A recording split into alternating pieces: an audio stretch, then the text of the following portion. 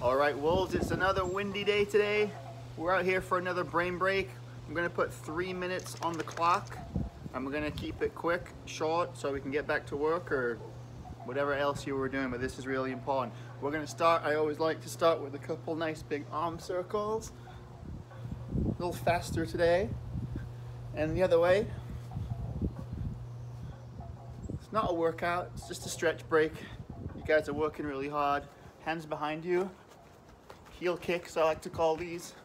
Bring them up. The idea is to get the blood pumping a little bit, keep things moving, get out of that sitting position that we find ourselves in a lot doing all this work from home. Okay, good? Okay, I want you to imagine you're holding a big watermelon to the side and you're trying to break it with your knee. Okay, just like so. Knee it. Good.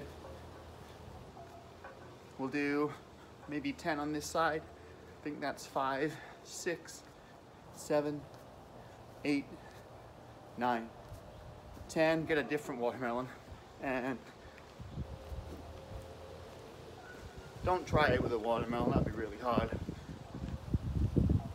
Six, seven, eight, nine, 10. It feels good to stretch. Okay, arms like so.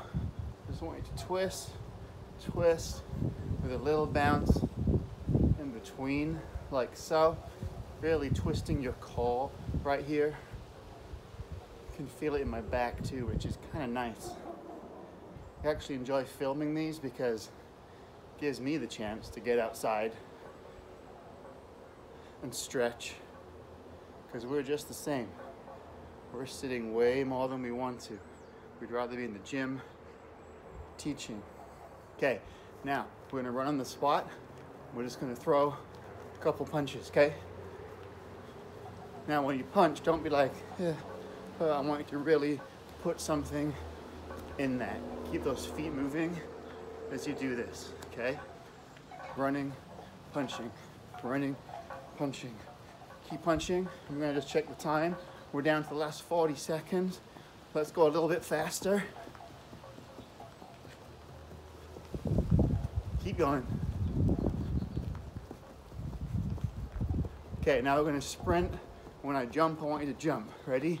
And jump, sprint, and jump, sprint, and jump, sprint, and jump. Keep going, we're almost there. Jump, jump, and nice job. Couple, last few arm circles. I'm gonna take my arms back just like so.